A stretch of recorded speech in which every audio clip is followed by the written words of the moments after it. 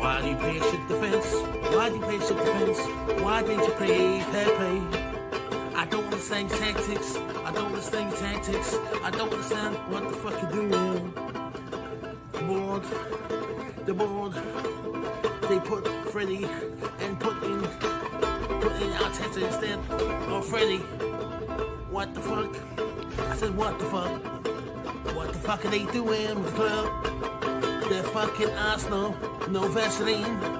No Vaseline. What the fuck are they doing? They're fucking us over. Arteta, you're.